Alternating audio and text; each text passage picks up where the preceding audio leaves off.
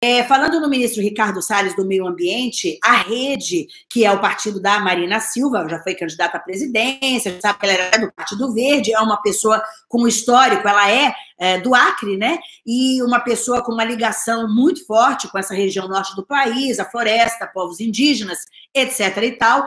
É, o partido dela hoje, a Marina se manifestou nas redes sociais, brava com essa história das queimadas, indignada com as declarações do Bolsonaro, e uh, o partido dela entrou com um pedido, vai entrar com um pedido no Supremo Tribunal Federal para empichar, se é que existe esse verbo, o ministro do Meio Ambiente, Ricardo Salles. Vai pedir o impeachment do ministro Ricardo Salles no Supremo Tribunal Federal. E a alegação é de. Um crime de responsabilidade pelo descumprimento do dever funcional relativo à política nacional do meio ambiente, que é proteger as florestas. Existe uma lei ali fazendo diversas determinações. Então, pelo descumprimento é, dessa lei e desse. Um, dessa política nacional, eles pedem, então, o, é, o, impeachment dele, do ministro, por crime de responsabilidade.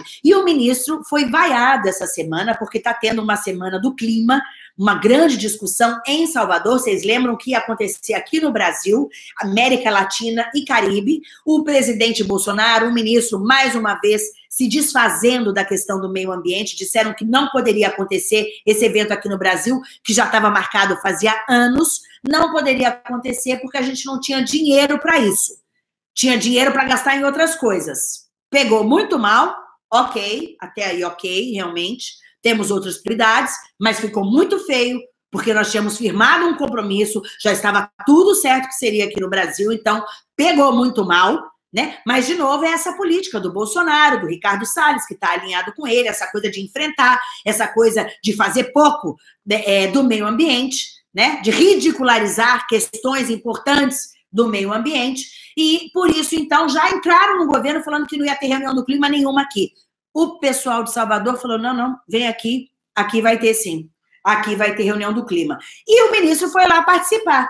Para quê? Foi vaiado foi recebido com vaias homéricas da plateia, né? E depois começou a mudar o discurso dele.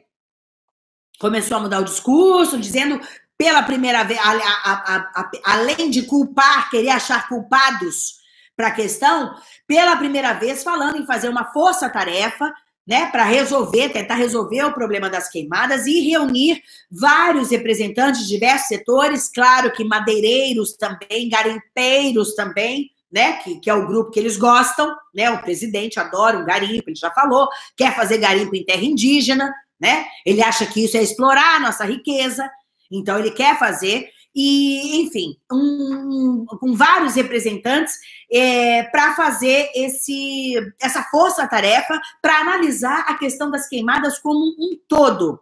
É uma força-tarefa pró-Amazônia. Um olhar, uh, olhar o desmatamento como um todo, em todas as frentes. Ou seja, madeireiro, garimpeiro também tem direito a falar, né? E transformar em realidade esse papo de que uma floresta em pé vale mais do que uma floresta deitada. Ou seja, que né, você manter a floresta é mais negócio do que você desmatar a floresta.